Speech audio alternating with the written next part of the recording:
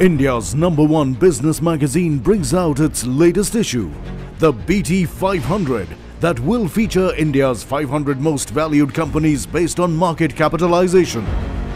Get an in depth view and analysis of how companies across sectors have performed over the last fiscal, including their assets, profit after tax, total income, and debt for FY 2019 and FY 2020. Rebrain yourself with the Business Today magazine. Pick your copy now.